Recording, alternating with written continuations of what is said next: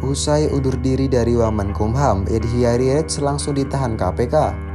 Wakil Menteri Hukum dan HAM Wamenkumham Edward Omar Syarif Hiariec alias Edi Hiariec telah mengajukan surat pengunduran diri jabatannya ke Presiden Joko Widodo.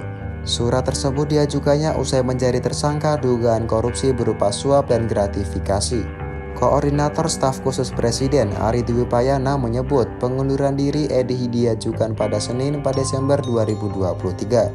Berkaitan dengan hal tersebut, KPK menjadwalkan pemeriksaan terhadap Edi sebagai tersangka pada hari ini, Kamis 6 Desember 2023. Kepala Bagian Pemberitaan KPK Ali Fikri berbicara soal peluang penahanan Edi. Penahanan itu tentu kewenangan tim penyidik. Sejauh ini kami belum dapat informasi itu penahanan, tapi yang penting adalah kami memanggil lebih dahulu para pihak yang itu untuk hadir, kata Ali.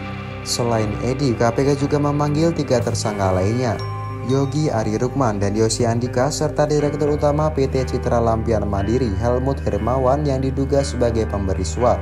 Sekali lagi tidak pernah ada tersangka KPK yang tidak ditahan, tapi semuanya butuh waktu untuk proses-proses penyidikan sehingga ujungnya pasti dilakukan penahanan sehingga dilimpahkan ke proses pengadilan, kata Ali.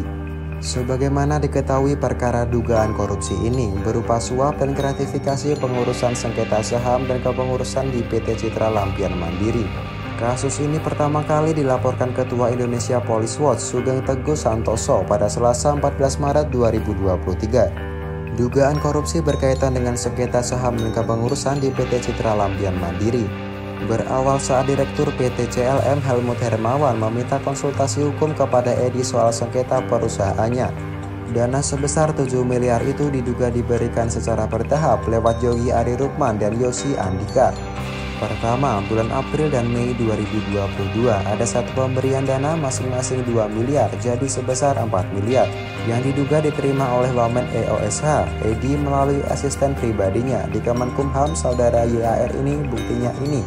Kata Sugeng di Gedung Merah Putih KPK Jakarta Selasa 14 Maret 2023 Kemudian pada Agustus 2022, Sugeng menyebut ada pemberian uang kembali sebesar 3 miliar secara tunai dengan pecahan mata uang dolar Amerika Serikat yang diterima tunai oleh juga asisten pribadi YAR di ruangan saudara YAR. Diduga atas arahan saudara Wamen EOSH Edi, kata Sugeng.